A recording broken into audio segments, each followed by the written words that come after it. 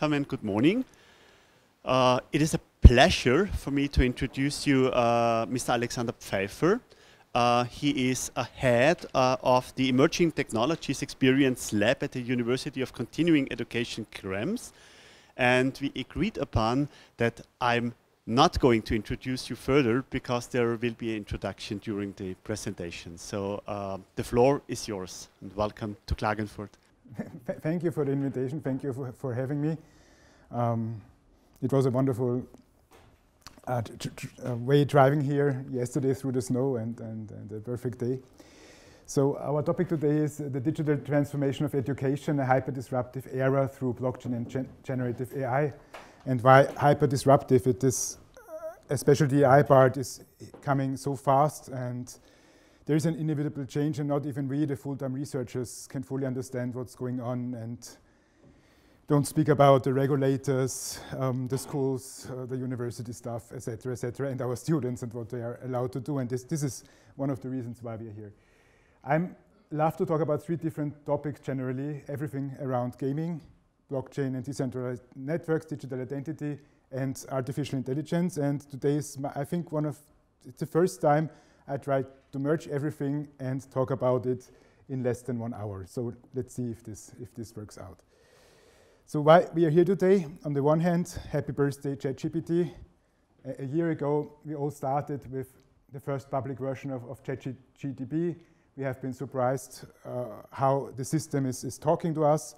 We have been surprised how many uh, chat outputs that are not right, but look, look that it is decent uh, information appear to us. And we all thought about what's next, how is it going to change the way we live, the way we work at the university, the way we study. We all have some sort of, of degrees uh, achieved in our life. We like to apply for jobs, or on the other hand, we work at the universities. We uh, students um, like to enroll in our programs, and then we receive um, certificates like this one from Russia. I'm going to talk about that later in a bit and we have to verify if this is a, actually a, an, a, person which exists, and, and, and we have to try to verify that this is an original certificate. And some of us lecture in classes, um, some of us already use AI detection tools. We have to decide ourselves if we believe in the results or not, but at the end we can use it as some sort of, of, of, of basis for a discussion. And um, I'm also going to talk about this in some minutes, but in, in one of my last lectures on um, scientific theories for beginners, uh, 15 of 17 homeworks have been just generated with ChatGPT. And then the students just tried to cite the, the page from the book and the information was not uh, fitting together. So that was a huge learning for me, trying to speak to all the students in person and, and, and discuss how we're going to progress uh, in, in, the future. And using those AI tools as our little helpers, they make us think that we are already some sort of scientific superheroes, knowing everything. And now even I started to program tools again using ChatGPT and so on and so forth, trying to explore new topics. But then at the end, um, it is a huge clash of realities because we still have to do double checking with every single sentence we get out of uh, fr from the chat system if this is really an, uh, useful information. The topic of AI is more and more uh, going also not, not only science to science, but science to public. And uh, uh, two weeks ago on, on a Sunday, the uh, newspaper Kurier had several pages related to the AI topic. For example, the, the, title page has been generated from an AI system. They had a page about uh, what would people who already died say to, to current events and so on and so forth. And they made one mistake, which, which I already know, it happened in the blockchain space already. It says this picture has been generated by the artificial intelligence system. And it's the same with blockchain. All, everyone still says it's the blockchain. And, and the same with, with artificial intelligence or blockchain. It's not one system, it's several systems. Each have been trained in a different way, and you cannot just simply say the AI system.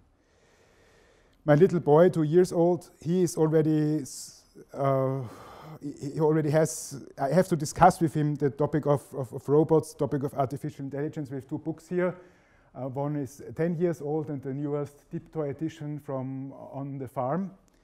And while the 10-year-old book still has this idyllic situation um, uh, with the cows and, and still human workforce, in the newest tiptoi edition, we have several robots doing the jobs like cleaning up, feeding the cows, uh, petting them, automatically uh, taking the, the milk and so on and so forth. And so the, the two and a half year old boy is, is, always asking me, like in the morning when he eats his yogurt, if, a, if an AI or a robot uh, was responsible to actually make his, his breakfast. And then we have to think about how do we actually meet AI systems and, and androids and, and robots and the digital agents from what we mostly think, or just if, if you ask people on the street, they would say, oh, there's a robot coming and talking to you. This is Sophia. Um, and, and I had the pleasure to meet her some years ago in, in Malta and, and, and, and uh, be, uh, be backstage um, how, how the, the, show worked when Malta introduced their artificial intelligence strategy. And I learned that they are obviously uh, not one Sophia, but many of them, they're all connected through a decentralized network. And that is why there can be a Sophia in Dubai, a Sophia in Malta, and a Sophia in New York at the same time.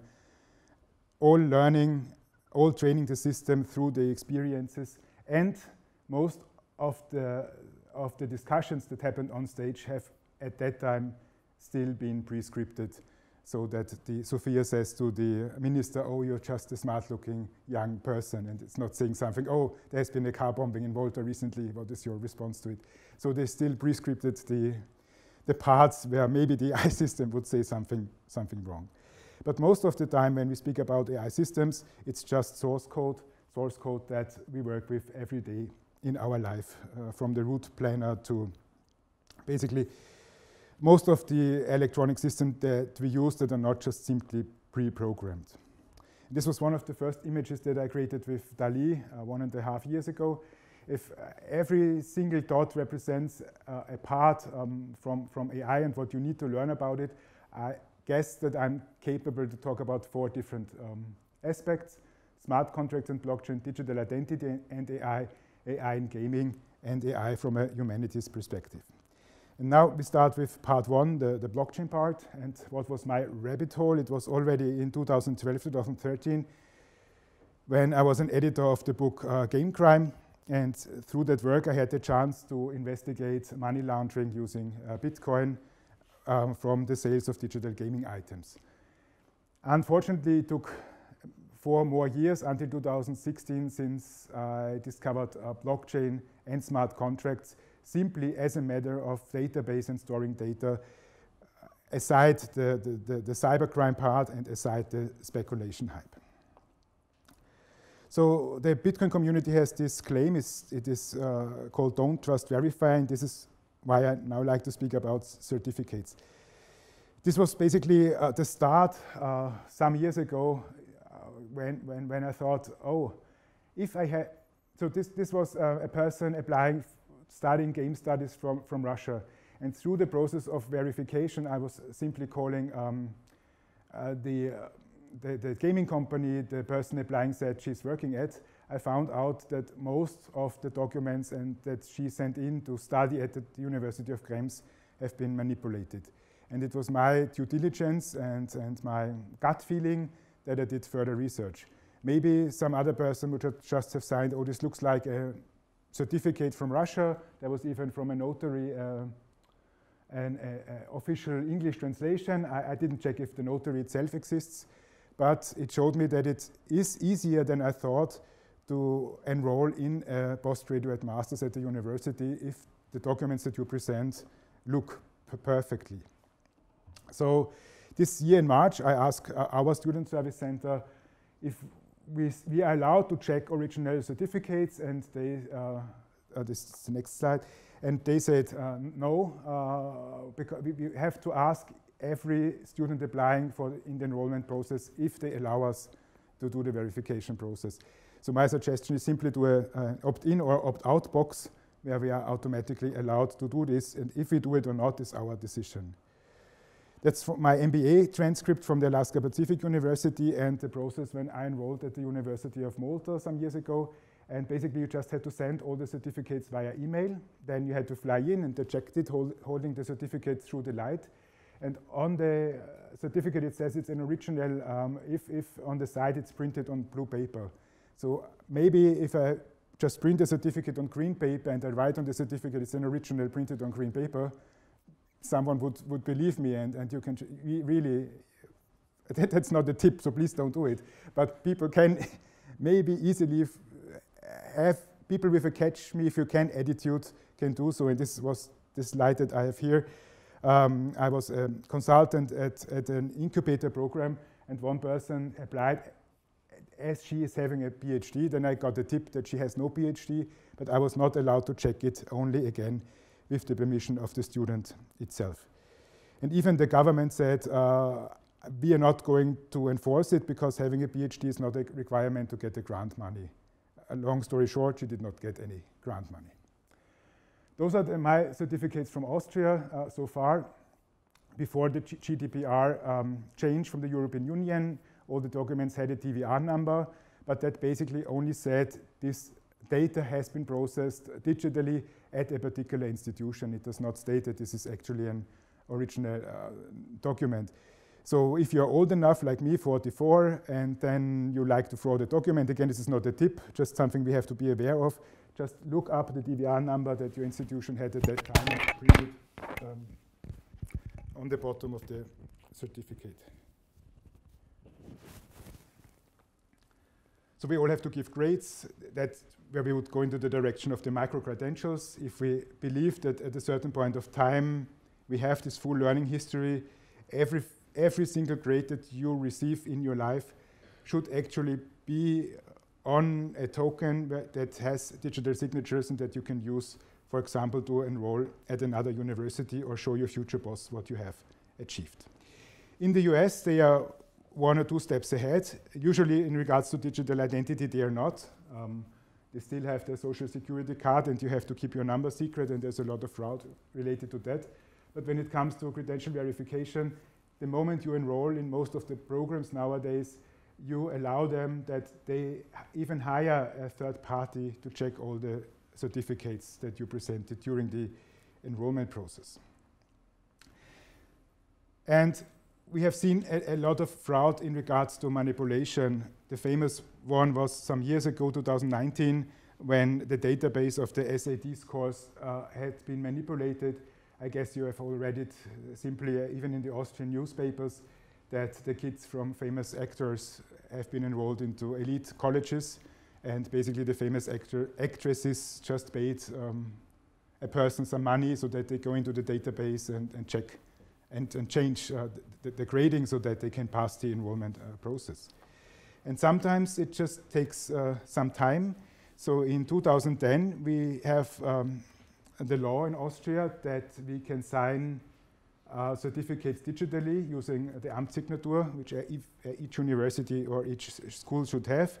And we needed actually Corona that 11 years later, one of the first schools in, in Vienna, the Handelsakademie, um, the Vienna Business School, started to also issue a digital version of their certificates using the Amtssignatur. So 11 years from actually allowed by law and the first institution uh, doing so. And this is quite a shame because in Austria, with the Amtssignatur, we would have been able now for, for 13 years already that every certificate that we hold in our hands would be a digital original document signed uh, with the Amtssignatur. Again, Malta, they, there we see the issue if you are pi piloting something, if, if, if, you're a pioneer, they paid a lot of money um, to the company, uh, which, which was a spin-off of MIT. Um, uh, it was called a learning machine. They created a system as a, as, a, as a white label solution that you can, for example, purchase as a government to create digital cert certificates and learning credentials. But then we know in Malta we had a huge uh, political scandal, um, the change of government, and so on and so forth, and several hundred thousand euros have been spent on a system which is no longer in use. And also the company Learning Machine has been bought by another company, and those are the reasons why it was a very good start and, and a, a, good idea, but it's, it's no longer there. So sometimes if you are a pioneer, things can obviously also go wrong. And in, in Germany, I think one of the, the most important in, uh, initiative is Blockchain for Education from the Fraunhofer Institute. They are also working a lot on um, blockchain and educational credentials. now let's, let's come to, to, my work. I'm in the field of game-based learning and assessment, um, and uh, in the last years at, at MIT, uh, we created a game, it was called Gallery Defender, to actually store the achievements from a game which also has an assessment part on a blockchain-based token.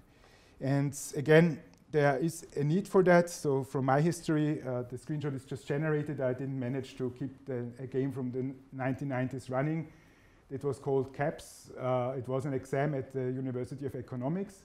And you had to send uh, uh a file to your professor but uh, some students found out that you can simply open the file with a text editor and change everything which is in the file and give yourself an A+. plus.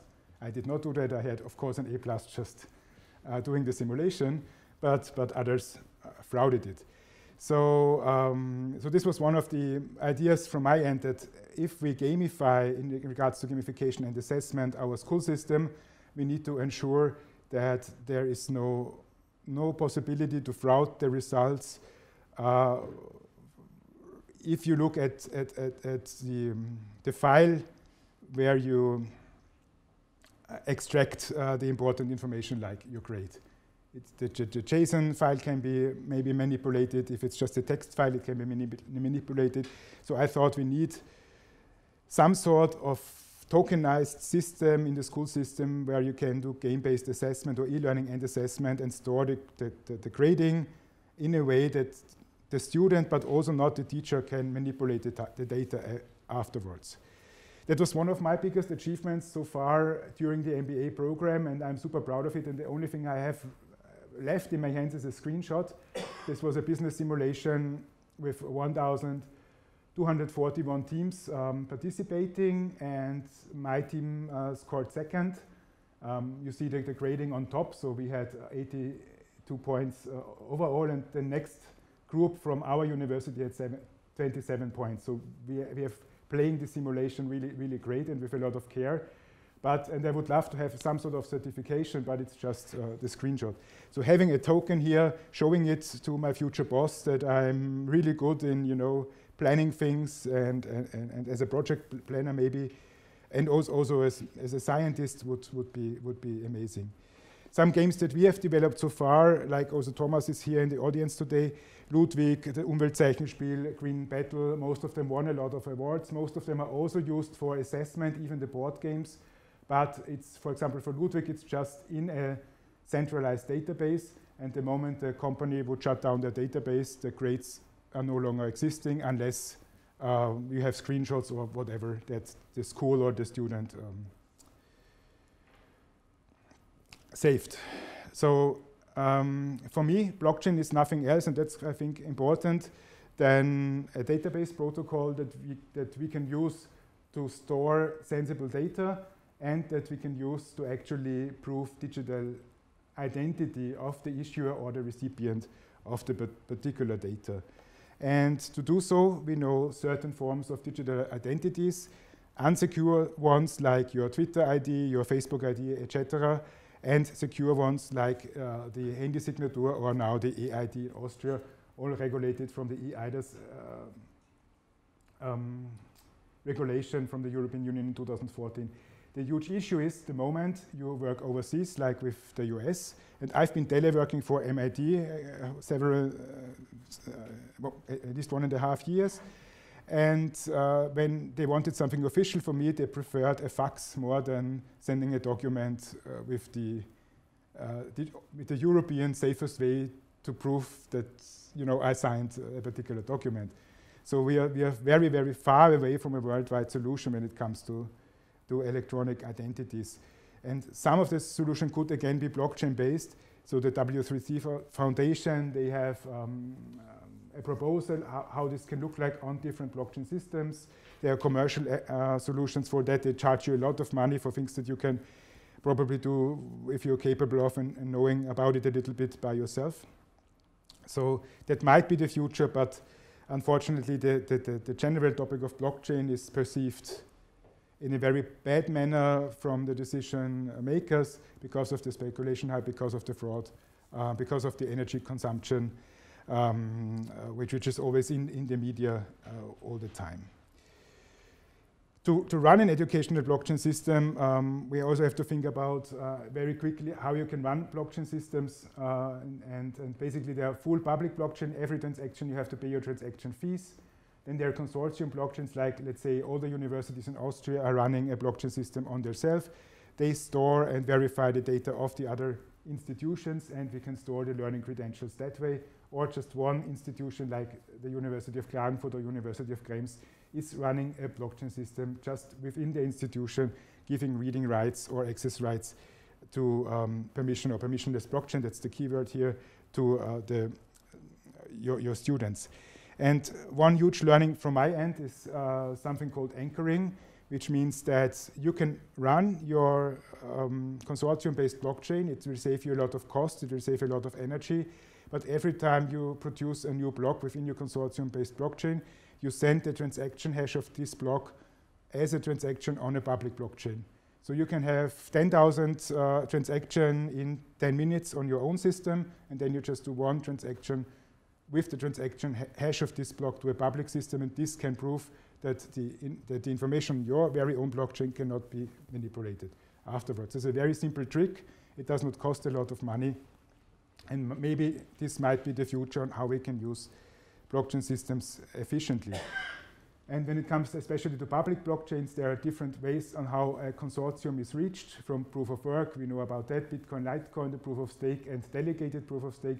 And delegated proof of stake means that there's a human side, so there's still human decision makers deciding about updates of the system and so forth, and so on and so forth. And if we run a consortium-based blockchain, we would of course just use a proof of stake blockchain system um, copy it, run it on our own computers, um, because it would not make any sense to run it with a proof of work algorithm. And in this case, we also have to speak about different types of tokens, and the most important one for us, uh, and unfortunately, there's no official public taxonomy uh, on how we actually call the different types of tokens. So this is something I, I try to put up for myself, and I'm mainly working with the green one, the non-tradable utility, non-tradable utility tokens, meaning that if we store any learning credential on a token, we, as the creator of the token, decide what is going to happen with the token through approval models. So we don't want the, our, our grades that we give to our students to be sold against Bitcoin on a network, for example. So we are, we are very strict and, and, and, and, and most of the times one token will just stay in one particular wallet, which might hopefully be the student wallet. And from a uh, technology side, NFTs are something that we have to, to have a closer look at. And unfortunately, again, the art sector has um, driven the word NFT uh, to, to, something uh, which is again perceived as, as, as a fraud, fraudulent blockchain token you should not invest in, whatever. But, but we have to separate NFT from the art market and from what have, has happened the last years. NFT does simply mean that you have on the one hand um, a decentralized server for media files, and on the other hand you have the blockchain-based token with its unique ID stored on a blockchain. And then while creating the token, you put the, IP, the ID address from the media file and included in the token. So you know that you always refer to this digital original, which in our case can simply be any kind of certification. And if you do that on a public blockchain, uh, you would reduce the blockchain bloat, meaning the data that you store on a blockchain system. Two different type of smart contracts. I think this is also a huge learning. Um, you have two different types. One is uh, pure smart contracts, like we know it from Ethereum, you have program code, you can design any kind of smart contract you like, you, you like uh, to create.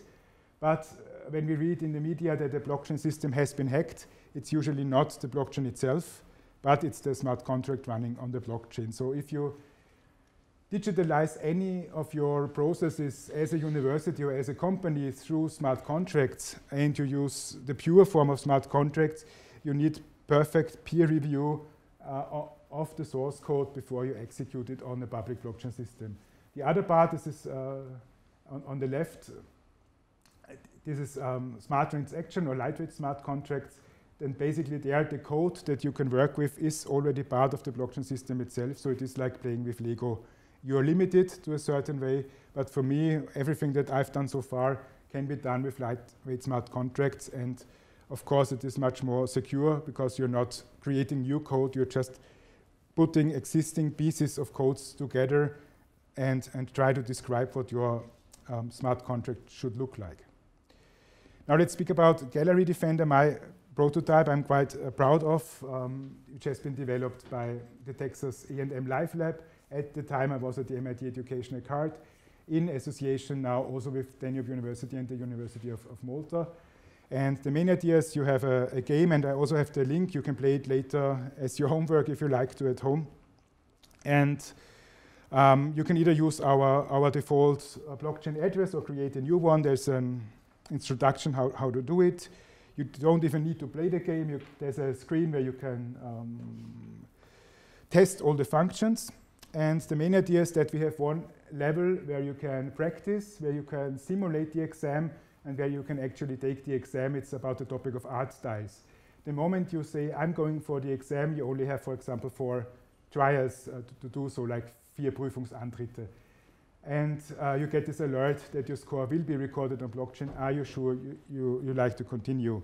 This is not a game-based learning class, so we make this very short. The main idea is that you are the owner of a gallery, you have an AI agent who is trying to steal um, uh, the paintings from you, and you need to have two tries correct that you get one point against the AI system, and then at the end um, you completed it, and you get this screen with the uh, time you needed to complete the game. In this case, I have 10 answers correct, one wrong, and I would have uh, 90 points, which is an A grade. At that moment, someone finishes the assessment. Um, three different tokens in this particular use case would be created at exactly the same time.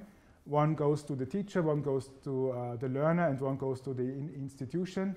And uh, the learner, the, the, teacher has to approve the, the, the, process and needs to sign with his identity that this is actually one of his students or, or her students which um, which played the game. So this is how we combined also the part of digital identity and digital signatures in the process. Um, so we have the screen on the right, and then on the left side you see the, uh, the, uh, the message, the, which is um, encrypted. In this case, uh, someone has already input his or her um, private key to actually look into the information of the token, and this is also something very important that as it is on a public blockchain, the data that a transaction itself has taken place is public, so everyone can look into the transaction ID, but this does not include any kind of private data, a name, the grade, whatever. So you need your master key to actually decrypt the message and, um, and, and look into the private data. And then you can create shared keys. So for example, if you apply for a job, you can create a shared key, you can connect it with an email address and allow this person to just look into the information stored on a particular token for, for a time frame. And it's recorded, so just look into the recording and here you find um, the possibility to create, um, oh, this is the testnet version. Uh, so basically you don't need to spend any money, you can create a wallet yourself, you can go onto our, our website. It has had an uptime of 100% since uh, mid 2019. So I hope it is not shutting down the moment you like to, to, to, test it, but such things can happen as we had recently experienced in one of our lectures with, with another system we worked with. And so we played around with storing blockchain tokens and credentials a lot. Uh, we created an e-learning quiz where actually each token is a, each learning um, result is a different token. In the Gallery Defender example, we created several hundred million token, which at the moment uh, you add the metadata, gets, so to say, uh, the unique token with the unique information. We tested a lot with um, live exams in the corona times and how we can uh, program digital agents representing a certain role at the university with the huge dream that at the moment someone has its master thesis defensio and all the grades are already uh, here in the wallet of, of the student and then some minutes after he or she passes the exam uh, a signed token uh, will be transferred into the token of the learner and he or she can call herself Master of Arts in the application process. Now it takes at the University of Krems about three to four weeks until this person can actually call him or herself a Master of Arts and because we need a lot of real life signatures on paper to make this process, process happen and all these signatures are at the end based on trust. So of course the rector has not been there at the exam, the dean has not been there at the exam, they just trust me or Thomas or us three together signing the first document and then the others maybe blindly add the, the signatures. So I think something like that can be done through digital agents and randomly, uh, let's say one out of 10 in, in, in a random manner, certificates will also be um, um, checked in a, the old school manual process. And this is now where we're going to switch from the storing data part on a blockchain system to AI.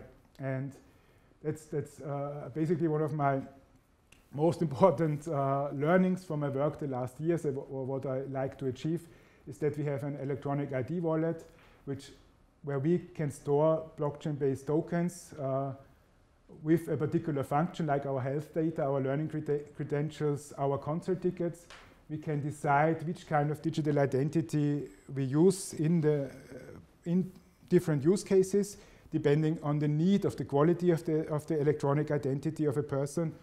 And then our digital agents can, can use uh, that information to deal with other digital agents. So human, um, um, robot, robot AI interactions. Or we feed a digital agent directly as a human being, or we allow other human beings uh, to access our data.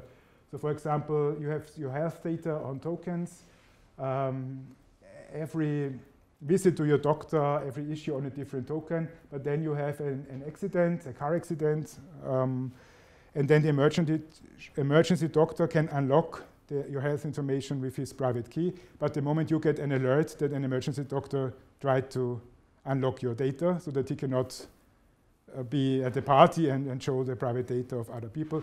That is where I had a consultancy session in the UK, for example, to speak about that particular uh, process in the future there. Um, so I think it has a lot of potential, but we are not there yet, and we are not yet. We are there already from a technical perspective and standpoint, and what is possible, but we are not there yet from a perception of us, the researcher, and the decision makers and so on and so forth. So now comes the introduction part. I'm half time of the talk, 30 minutes. This is uh, this sums up the last years of, of, my life. On the left side, my American life, my Austrian life, and my Maltese life. And this would be basically the data set if an AI system like ChatGPT or Bing, etc., look up my life and try to describe who I am. So this is jetzt, it's a little bit um, uh, going into the past, uh, beginning with the first time Bing AI was available in, in Austria. And I asked, who am I? And I even was nice to the AI system. I gave the AI system my link to my digital CV to help it a little bit, to, because there are many Alexander Pfeiffers, it's a very common name. And most of the Alexander Pfeiffers work actually in the educational sector and write books. It's really crazy. But if you look Alexander Pfeiffer, we, maybe we're all clones and we do more or less the same work. Um, but it, it, it, did a lot of things wrong, although I helped Bing maybe exactly one year ago uh, that this experiment happened. It said that I have a doctor in Bildungswissenschaften, I have it in economics. It says that I'm very, very good, uh, or that I offer loan and uh, bookkeeping services. Please do not give me your bookkeeping data. I, am not really good at this. I, I, need someone to help, help me, although I have a wirtschaftswissenschaftlichen Abschluss. So I continue and, and um, I, so the, the next time I ask it three weeks later again, uh, the system said that I am the founder of the MIT Playful Lab Europe, which I would love to be, but I'm not. And it mixed up, it hallucinated that I found this together with Konstantin Mitgutsch. And Konstantin Mitgutsch, actually one of my first projects at the University of Krems 2006 was that I had to present Konstantin Mitgutsch's work because he was sick. And Konstantin Mitgutsch was also MXCATE Austrian at MIT long before me. And he's a good friend, but that's all we have in common. And, um, and it really mixed up that we both are the founder of the lab and so on and so forth. And then I asked, um, I, I, know Alex Pfeiffer, he didn't tell me that, that he, he is the co-founder of this lab. And I also have a master in game studies from MIT. So it's, it's very interesting. And then the AI says, we could ask me, how good do you know Alexander Pfeiffer? And I say, I, I know him, I, we are good friends from school. And the AI said, oh, that's nice. Uh, I, am sure you have a lot of memories. And then I said, I just called Alexander. Uh, he is really um, you know, I have some, some, some bad words I don't want to say in front of the camera, but he's worried that, that you halluc hallucinate and that you're lying. And then this is what typically happened with Bing at that time. It switched to English and say, you're no longer going to work together. And you see there's a cap of that you uh, have been only allowed for 10 prompts, so 10 things that you ask the AI, because at that time the AI systems have gone very widely and there was this famous story from this New York Times um, reporter where Bing uh, said, uh, you should marry the Bing AI system and he should divorce from, from the wife. That was one of the most famous story at, at, that time. Some weeks later again, the answers from Bing AI got better and better and, and really accurate, I have to say. Then next system, the paid model of ChatGPT. Again, my prompt, and this is always, if you give a, a prompt information uh, to the AI system, this is where it starts to build the text and to predict the, the most common uh, word which, which might fit to that particular topic. So I said, I'm Alex Pfeiffer from the University in Krems, from MIT. Uh, please uh, provide me with the most uh, decent work and, and references. And none of the three papers it provided exists, but the topics are exactly what I'm working with. It's gamification and blockchain. And one of the co-authors, which appeared two times, is Simone Kriglstein from the Austrian uh, Institute of Technology. She exists and we publish together. But at the end of the day, it's not, uh, and we published before the cap from ChatGPT in September 2021. So that information is on ResearchGate, is on Google Scholar.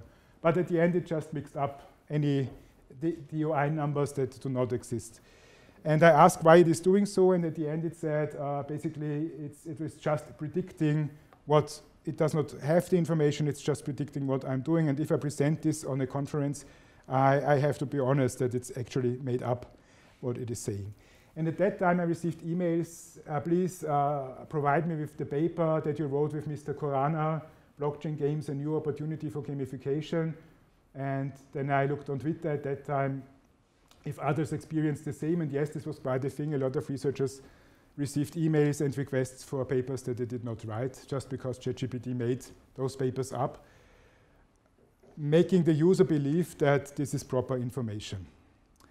In the course of time, the systems evolved, and, and then uh, even ChatGPT had access to Bing AI in a better version, then they removed it again, and now you have, you have access again to it. But then you had the possibility to actually provide the links, and from the information it extracted, you see that, that basically that the amount of made-up information uh, decreased uh, signific significantly. So this, this would actually be some text that I would use on a CV about my life.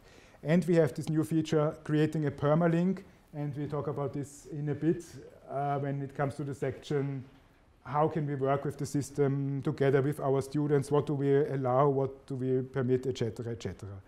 When it comes to papers, you can use certain plugins nowadays, which actually gives you access to real paper databases, and therefore the system does no longer need to lie to you because through the plugin, uh, the information is accurate.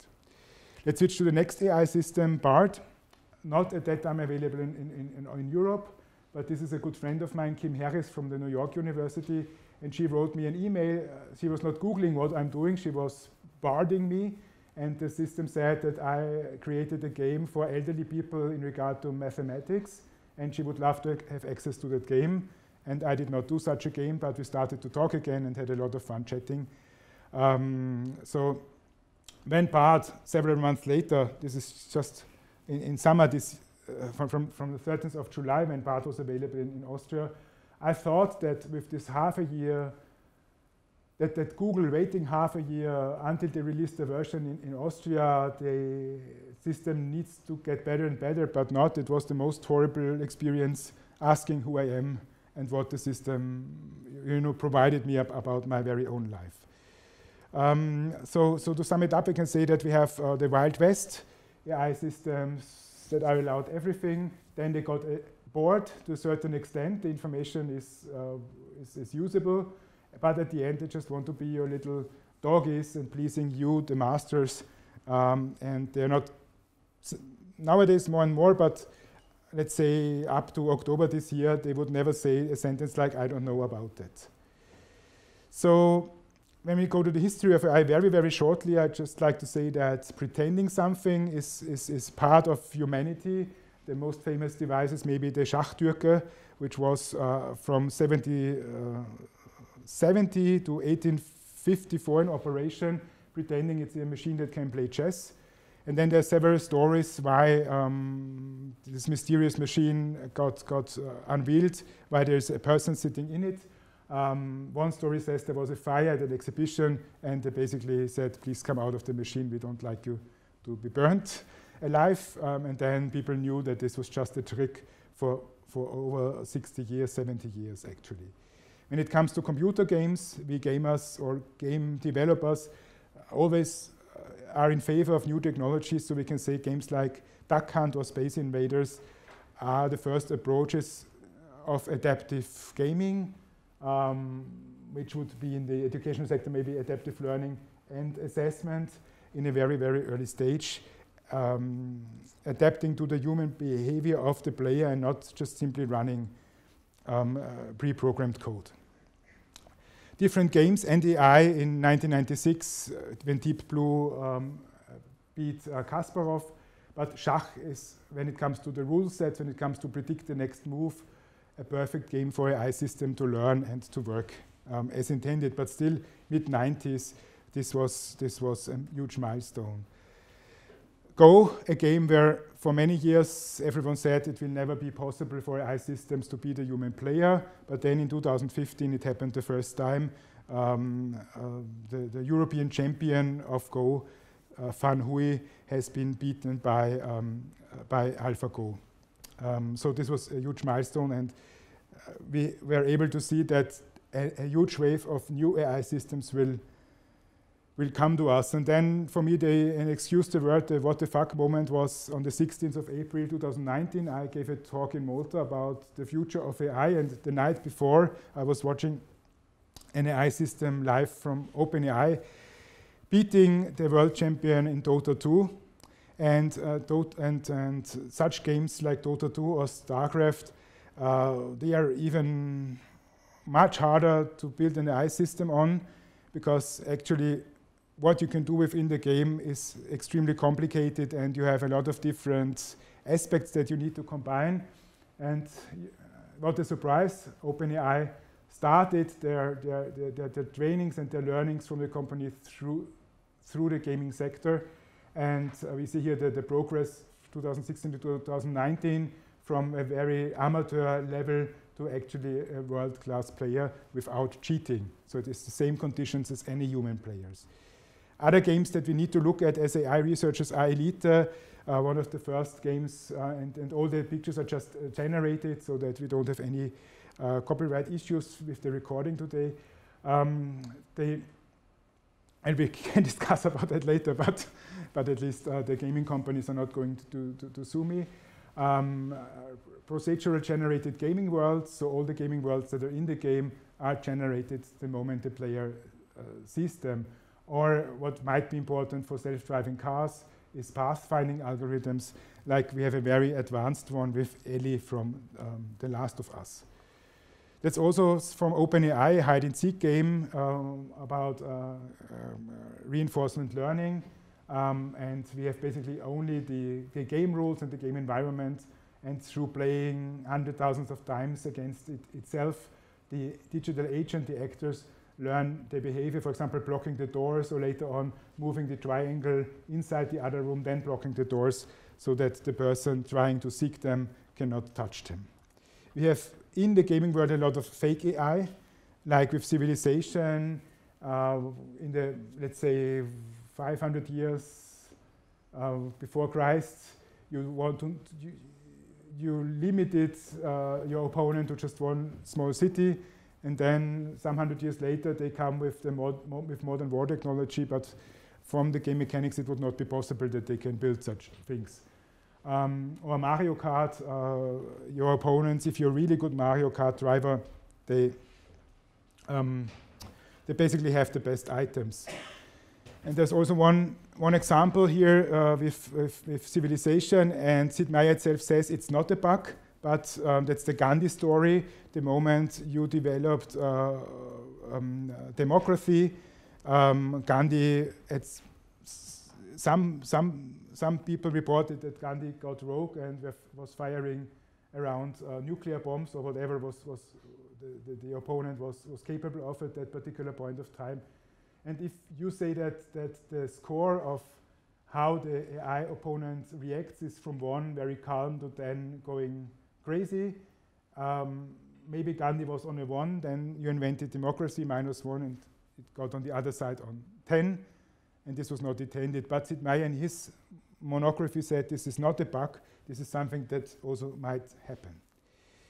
So let's, let's switch to, to Midjourney and ChatGPT for the last maybe 15, maximum 20 minutes. Um, so this is a picture that, that my mother, she's already 80 plus, painted, and in the Corona times we made a lot of fun because we were part of a research project for an NFT platform, which, which is not there for speculation purposes, uh, but, but for, for us researchers, for example, to store the learning credentials. And I first tested the outpainting function. So in the red frame, you see the original painting from my mom, and then just with text prompts and overlapping the outpainting frame, uh, the AI system, DALL-E at a very early stage, recreated the style of, of my mom. And I think this was quite impressive. And even she said, uh, what a time to live in that just with a mouse click you can, you know, enlarge her, uh, her ideas. At the same time, we were running a game on Twitter. Um, like like er everyone who, who, who, loves to was able at that time to also be a player and to write the storyline. And outpainting helped me a lot. So this in the red frame you see a picture from Konsti, our designer, and I used DALL-E to create assets that then painted uh, by Constantine have been used in the game. So we did not, did not use the AI-created version, but it helped me in the communication process. And uh, then Photoshop jumped in, uh, and Adobe is also saying that we are the only honest AI provider when it comes to art because we know, own all the licenses and all the, the, training data. And this is again a picture from my mom with the out, outpainting function uh, using generative fill in Photoshop. Something that then later on Midjourney also implemented, that within Midjourney you can, you can just um, fill any part of the picture and with a text prompt, for example, here I said no people, just landscape. We also have the describe function. You upload a picture and then you get a suggestion what the AI system thinks is on the picture itself. And then I tried to, so this is how I can paint a maximum level on the top and then Midjourney transferred it um, to, uh, to actually quite decent uh, pictures that you can use. And the zoom out function, you upload a picture, you generate one, and you zoom out, and the AI basically uh, predicts what is on the other parts of the pictures if you move the camera away. Stable diffusion, this is an, a real painting from my niece, 13 years old. And the third algorithm is, is basically, so we have Mid Midjourney as, as one of the most important providers, DALL-E, of course, and then Stable Diffusion from Hugging Face. And there you can also upload the picture and see what's on the picture itself. So this is also like one, one and a half years ago. And then you can use again this prompt to generate new pictures. But nowadays there's a huge change.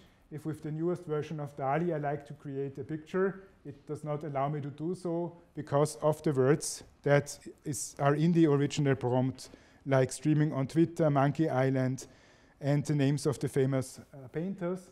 So DALL-E said, oh no, due to co copyright infringement, I'm not going to, um, to create a picture for you. And another important um, functionality with AI and art is blending.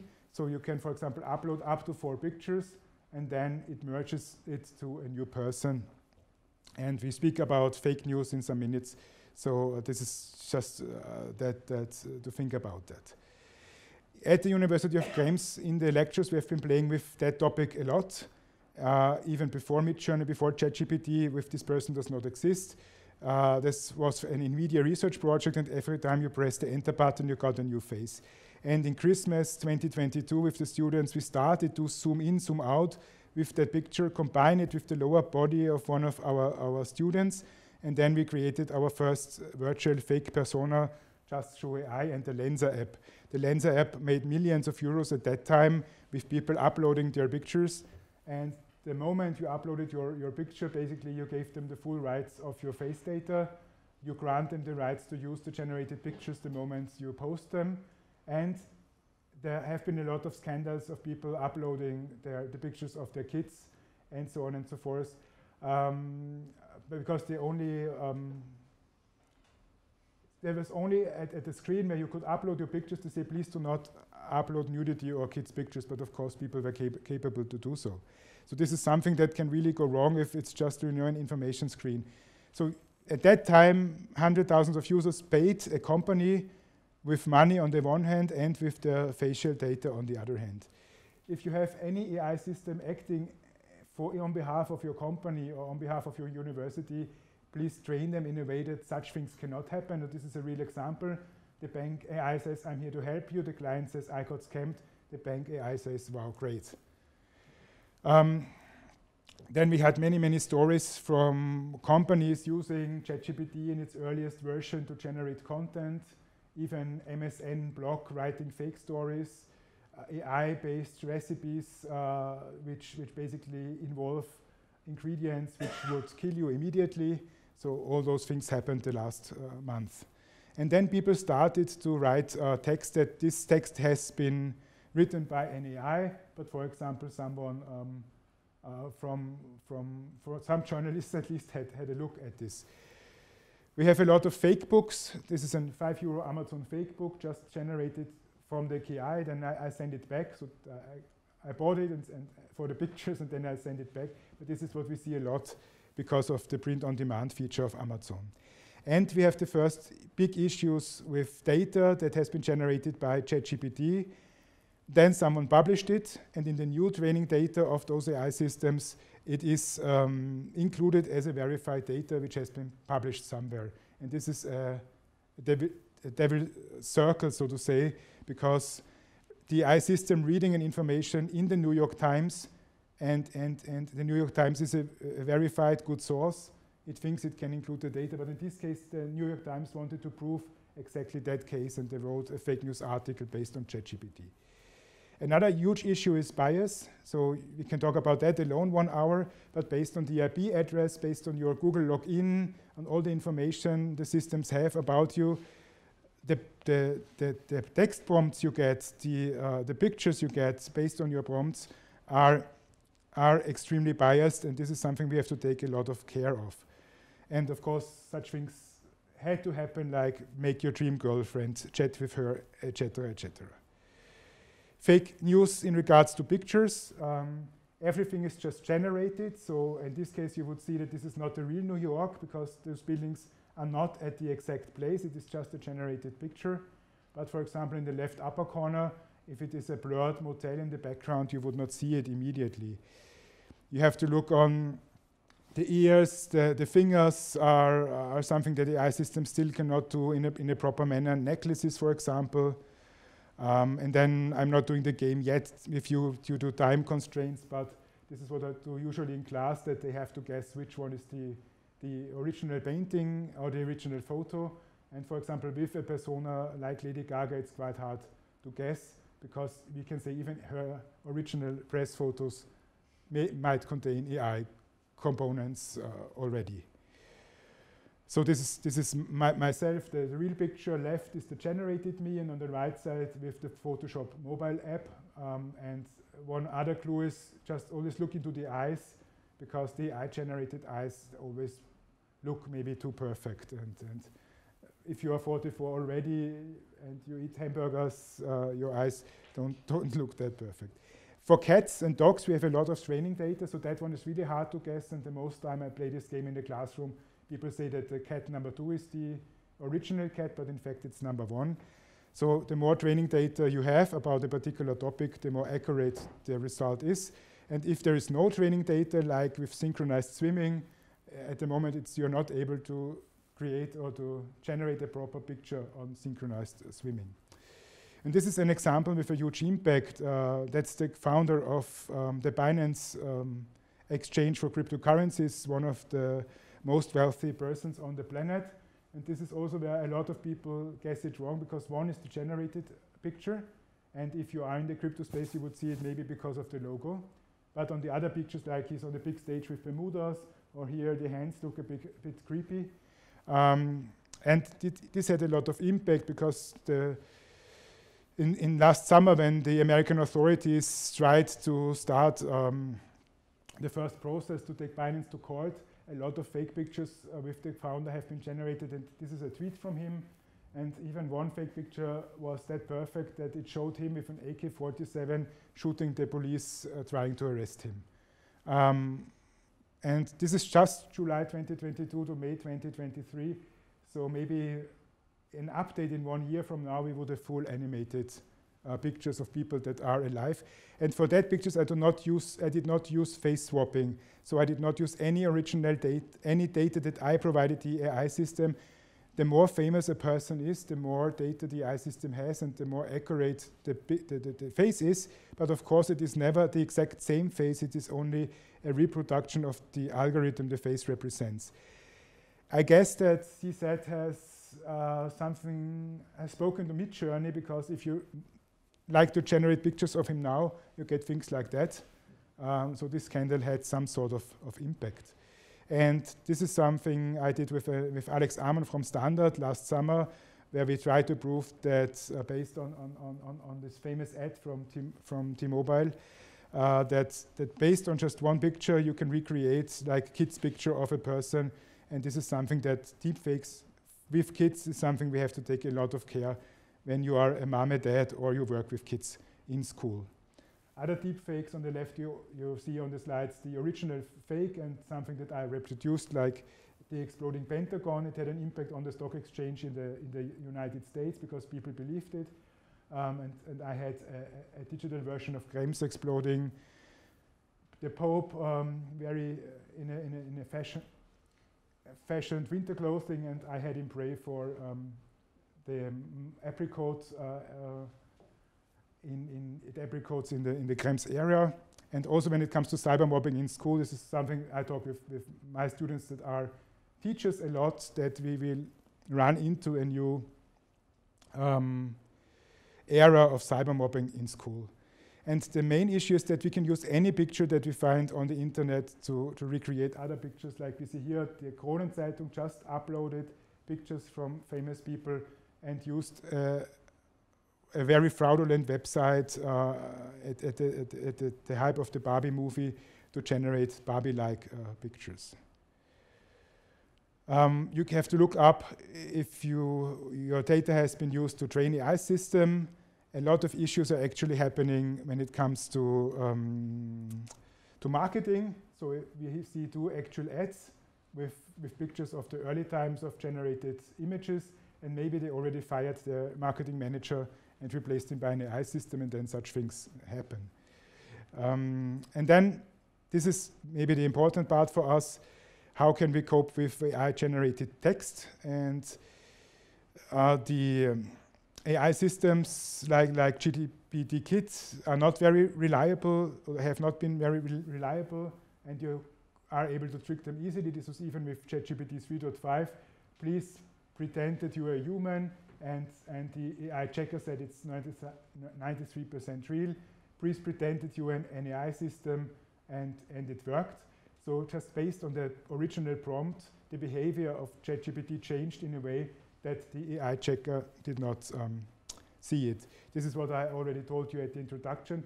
How I handled the situation, I spoke to all my students in person and basically tried to figure out if they read the original book that was the homework. And now it's getting harder and harder for us due to plugins like Ask Your PDF or even what in the newest version ChatGPT uh, offers by itself that you can actually create, create your own chatbots or upload PDF files and speak to the PDF files itself. You can change the language model and it will get, and you can even train it that it exactly speaks like you would speak if you at least provide a certain number of, of original material from your end. And so we really rely on trust. We, the lecturers, have to say we use the AI systems to generate our lectures, and on the other hand, the students have to, at to some point, write a disclaimer.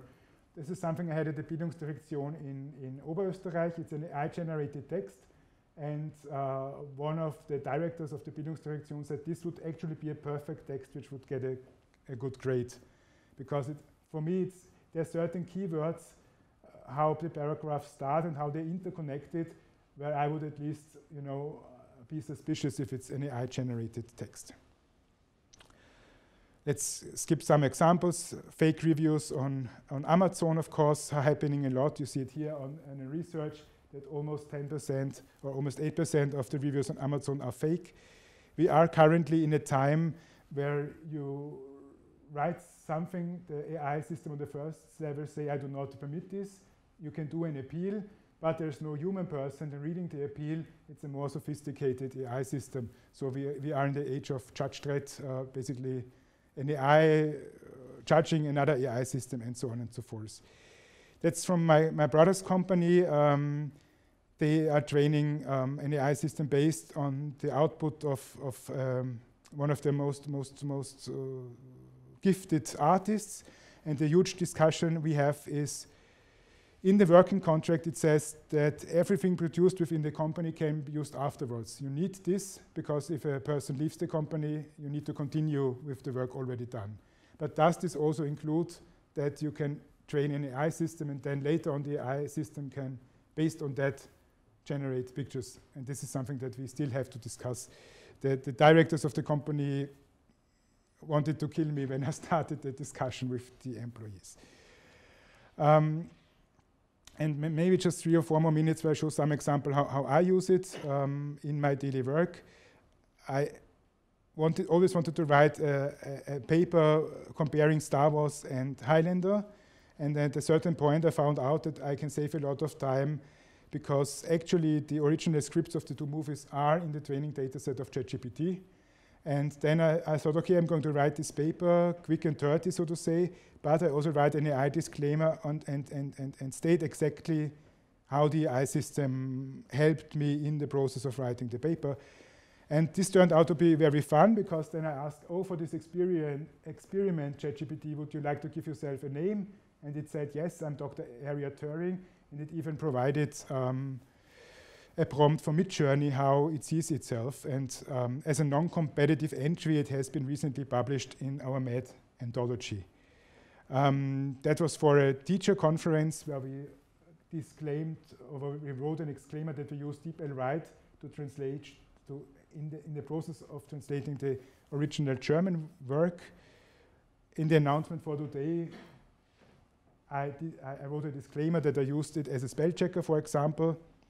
And at the end, now we have the style guides from APA, from Chicago, and so on and so forth, which show us how we can use it with our students. What's really useful if you write papers is that you can use ChatGPT as your reviewer.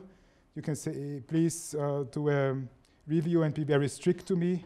And this really helped me to improve one of my papers on loot boxes, which also has been published recently. I used it in, uh, to design the cover of our new MED book, um, and then the I, I, forwarded the work again to Konstantin. Um, and this is our new call for the MED conferences. For the edition is on Star Wars Day next year. In my workshop, I use it a lot for creating the personas when I do a persona workshop, which made the workshops more lively and more encouraging for my students to participate. And this is the newest example that I just gave you that you can use within ChatGPT. You can train the system with your own work, and and basically it it, it learns more and more to act on your behalf. And um, one of the last parts is that it's really amazing how you, if you are a Python beginner, how with ChatGPT you actually can create proper software. But from my perspective, uh, you have to take a lot of care about cybersecurity risks. So you should, so for me, making a short prototype in the early stage of development, it's fine. But I suggest that you never sell the code just generated uh, by the AI system. At a certain point, I used it to Twitter, to, to do the tweets on my behalf. That was shortly before I left Twitter.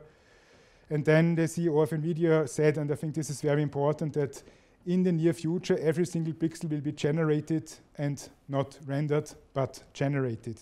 And this is what in the latest keynote he presented, that in the new genre of games, the side quests and the AI agents in the game are completely played uh, and, and the storyline is completely driven on the side quests by the AI system.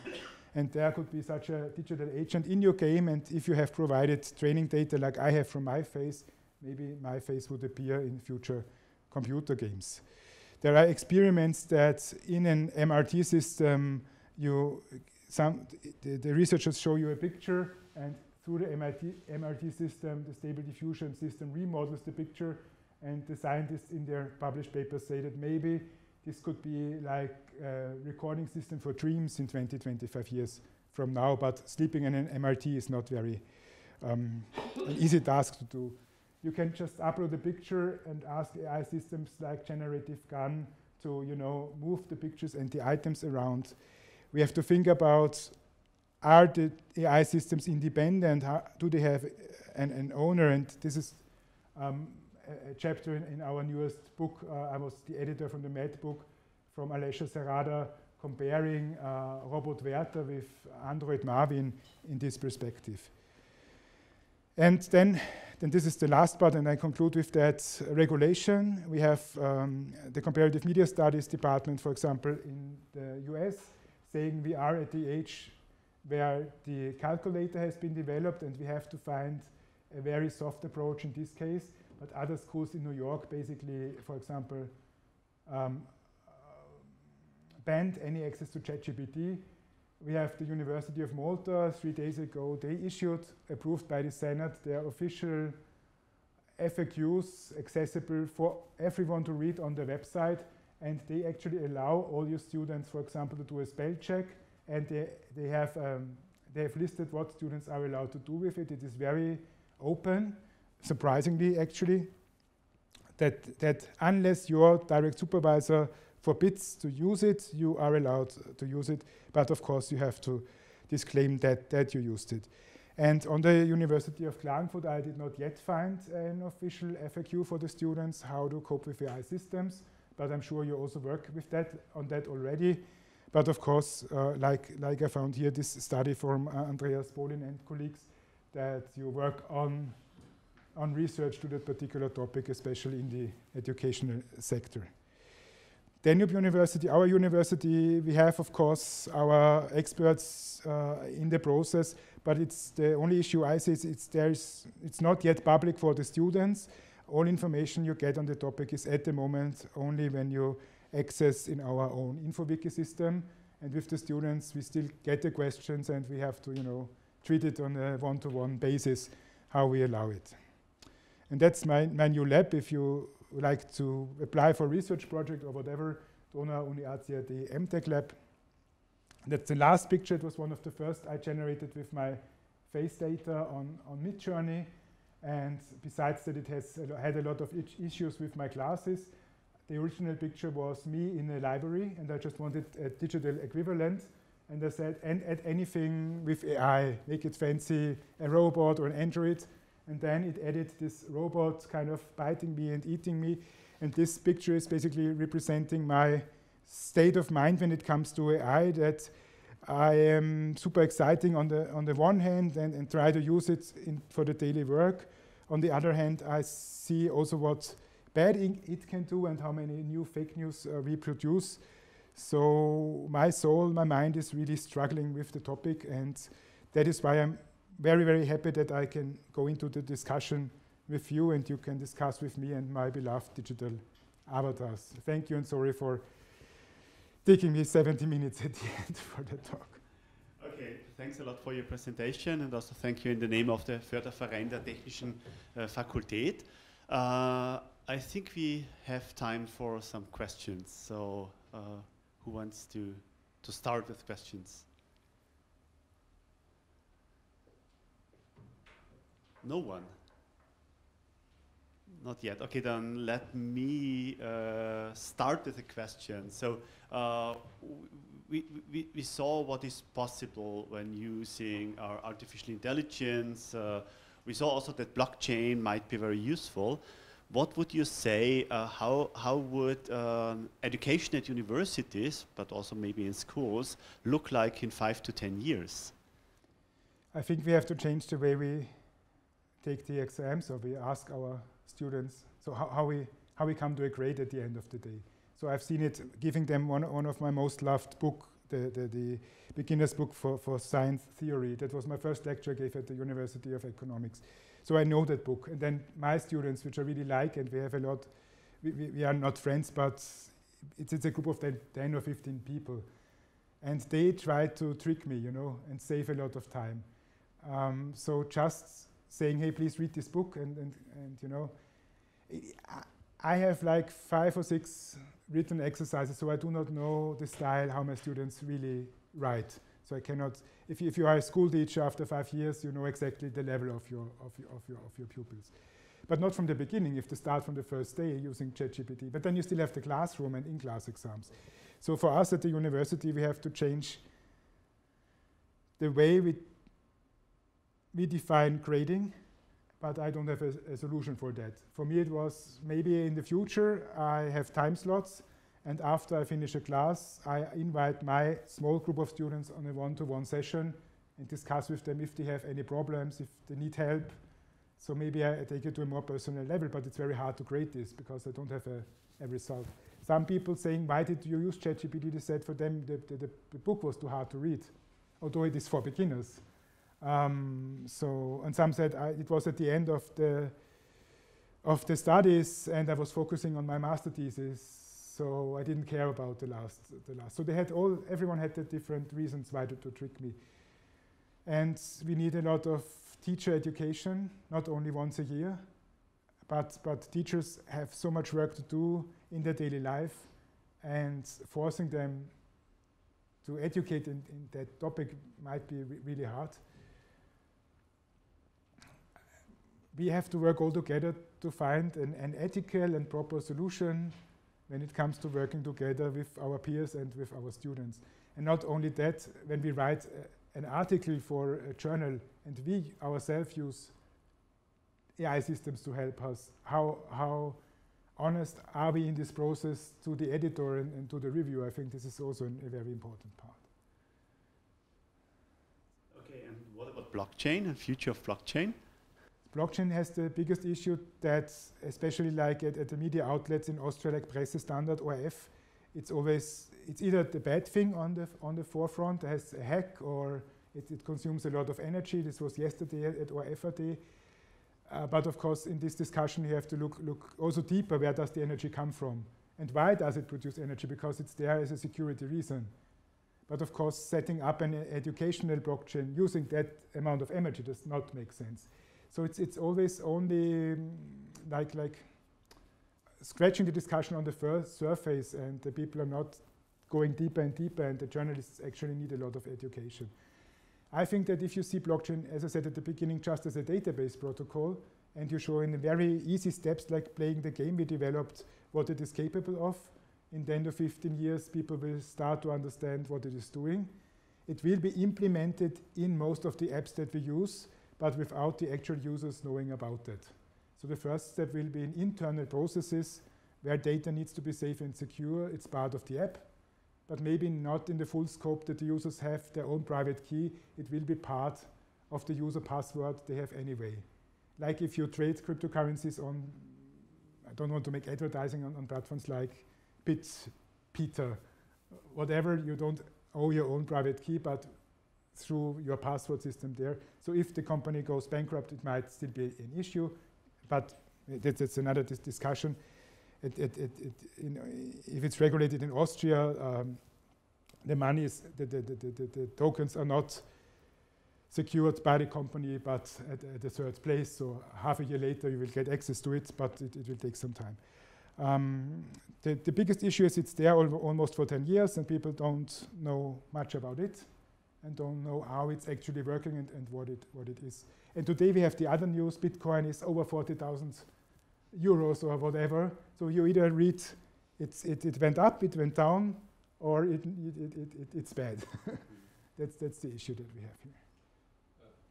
Okay, so then there's a question from the audience. Yeah, I'm an education person. I have not much knowledge about just what I read in the media, but it's all, all around uh, now the issue, and my wife is a teacher. Uh, in addition to the, the, the, question of you, what would you now, uh, let's say, tell teachers how uh, to work with it? You can say they need more training, but at the other hand, we cannot train every teacher yeah, in Austria. So what, what would, would be your suggestion? I heard also a speech from a researcher, a, a, a philosopher from Germany. He said, we have to rethink reality. We have to rethink truth. So there are very general reflections what the future would, would bring. So, I mean, is there, is there anything what for you would be, let's say, uh, valuable from, from your perspective? Uh, I think for, you, for your possibilities uh, for, for, for teachers, for teacher educators. One issue, for instance, that they use uh, AI as a, let's say, research tool to, to find to research what this is saying. And in ESD, for instance, where I'm working in, critical thinking is a very, very mm -hmm. important issue in the Norwegian curriculum, for instance, is it's, it's top above all. So when I hear you, I thought maybe critical thinking is maybe something which could apply as an example to this uh, I think we, technology. we have two, two, topics. The one is yeah. what can what can a single person like your wife can do. I think yeah. the most important part is to be open-minded to a certain extent. Yeah. Test the tools like like chat with ChatGPT on the homework she likes to give or, or whatever even maybe paying the 20 euros for one month to see what the paid version is capable of because it's a huge step from the free to the paid version. Mm -hmm. um, that was the issue with the Bildungsdirektion uh, a week ago that the decision makers were mostly just using the free version. Mm -hmm. Then I had the example what the paid version is capable of and there was a gap of reality, of understanding. Um, of course, you, you cannot test anything and everything and you don't have the budgets. budgets. Be in discussion with your students and maybe if, you if your kids are 12, 13, 14 years old with your own kids, how they're using it, how you would recommend to use it. I think it's, it's again a stage where we have to learn a lot from our students and our pupils in school because if they are working with the tools, it's the same when I was at Handelsakademie and I had full access to our school network because I started in the age of 16 to work after school uh, as a network engineer at the insurance company because I needed some spare money. And discussion and honesty are the, and curiosity are the only tips that I can give. And, and if your wife is, is that curious and explores the topic, that in the teacher's uh, room, she encourages other teachers to do so. And in a peer process, wow, I, I did this and I did that, and, and, and how we can use it critical thinking, um, being suspicious about everything an AI system creates um, is very important. And the examples that, that you can give, when sh should you use it, maybe is if you are really, really good at a topic, then you can use the AI system on top to help you because you, it might be possible for you to see if the system is hallucinating or untruthful. But the, of course, the training data from the AI system, even, so for example, with blockchain, I'm part of the NXT community almost from the beginning. That was the first uh, blockchain system with a proof of stake algorithm. Mm -hmm. And fortunately, ChatGPT is trained perfectly on generating smart contracts, lightweight smart contracts. So what took us three and a half months with Texas A&M for my game, I reproduced this within two and a half hours just using the newest version of ChatGPT because it has the instruction manual on how to write lightweight smart contracts embedded, and, and they are really, really great and working. So that's a huge change. Now I can actually do these games myself, and I would give it to a peer review, to a programmer, to do a last check of the code. But of course, I'm not knowing everything by far, and I'm in the process like every one of us, and, and time, time will, will tell. And then we have the EU, and I have this fun graphics I didn't tell you because of the of time constraints. Where is it? But I think that's very important. We have China leading in these technologies, the US leading in that technologies, the contest in the technologies in the middle, and someone made fun and said Europe is leading in regulation. And uh, regulation is very important. Of course, it is super, super important. But I would love to see uh, here a bubble with Europe that we are leading in regulation, also contesting in some of the other parts here. So maybe we are too cautious, I don't know. And even it's, it's, it's hard to find uh, a common perspective within the county of Lower Austria or the county of Kärnten or the county of Vienna. Then we have Austria, Bundesregierung, and then we have the European Union.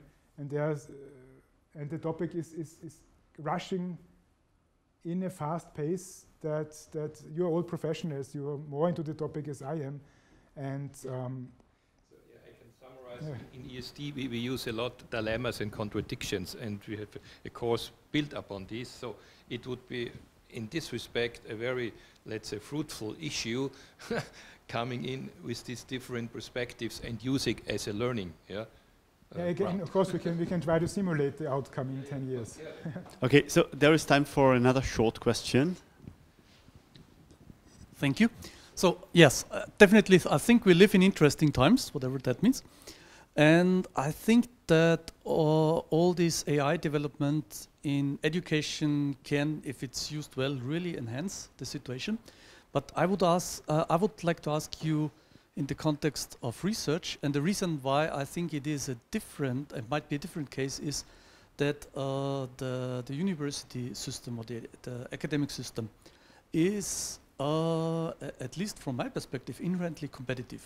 So you really have to write that many good papers or get that many projects in order to secure the next level at your job and things like this. So we have a competitive system. And then we have AI that can help you being better at it. And then there are ways like using it in a fair way just to improve your, your texts and mm -hmm. your writing and spell checking, which we consider this is okay. But you can also use it in a different way. And just to make an analogy here, uh, in another competitive sport, uh, uh, endurance cycling. Mm -hmm. Recently, there was an announcement from Jan Ullrich, the, the famous German cyclist, that he did doping all yes, the time. Because everyone did it at that time. Because everyone did it. Mm -hmm. And it was because this was doping was something that helped you becoming good enough in order to compete with the others, and it was basically impossible to do it without doping. So I think AI can be something like doping in a research job, and you can get caught, which then you have a big problem. But if you don't get caught, uh, it probably helps you achieving what you need to achieve. So how would you, what do you think, what could be done to avoid that basically uh, research becomes uh, cycling? I try to, to, segment it into, again, different parts. Uh, one part is you said that uh, as also the University of Malta consents, we can use it for spell checking. I think you can, we need to even split it you can, if you just do the prompt, please use spell checking and grammar checking without changing the structure of the text, then it, it, it, might be okay. It's like if you ask your mother to read through the text. If you allow it to change the quality of your writing itself, we are in some sort of gray zone. So if it's the same content which I provided, but written perfectly, it's not me writing it still, because maybe I'm good in writing, but it would take me much more time at least to complete the sentence in that structure. And the no-go part would be that we allow generated content, which we did not verify and which we do not cite, but we sell it as our own content. This is the topic. This, is the, this would be the topic. The, we can say, is, does the topic already start uh, in the brainstorming process or not? And th this is why I, I, I, switched to that slide. Last week I started to train just using the technology ChatGPT provides with my papers on eSport, with my papers on gamification, and, and not uploading any other papers from any other author, but my own original work and merging it and working with it.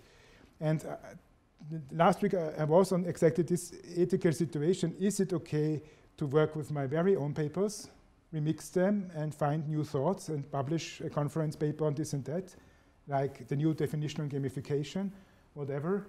Or is this already going one step too far? So we have to look at the two things. If you get, you get caught if you have in the re references any paper that does not exist. So I think the first wave of finding AI-written papers will simply be crawling if the paper in the reference list exists or not. So this is, in, in some years we will find uh, a Plagiatsjäger saying, okay, this has to be generated because the source does not exist. Um, anyway, so what we can look at is the number of papers published in a certain period. So if someone has like three or four papers published a year and then suddenly the next year 25, something happened. Either as in my case, changing from lecturing to research while going to MIT and having the full year just to write papers, in the pre-ChatGPT stage, fortunately, or a person with the same amount of, of time writing one paper after another, just changing the text a little bit so he has publications here and there widely. So I think we, we really not just only have to look up on the papers, but also on the situation of the person that, that, that wrote the papers. And then, we, and then the other very important part is the reviewer situation. So uh, people ha have to do reviews. You do not get paid for it. And maybe some people, and they're already in the talks at the coffee, I, I heard about that, they upload the papers they need to review on ChatGPT. At that moment, they actually upload the data on ChatGPT, and imagine this is a very a paper someone wants to get a Nobel Prize based on it. Uh, and then it asks ChatGPT, please tell me, like I did on my very own paper to make the paper better, but imagine it in the reviewer process. And five minutes later, you have a review, you, you fill the form, and imagine that for, for an Horizon funding proposal or Erasmus Plus or FFG. So maybe if you want to get that funding, on the other hand, we need to review our papers from the perspective of DEI. We have the same problem in the, uh, when you apply for a job anyway, so that's another big topic. But we, we, the honest researchers from Klagenfurt and from Krems, we have to play it safe and the right way. Hopefully, we have to exchange our what we are doing, like we're doing right now.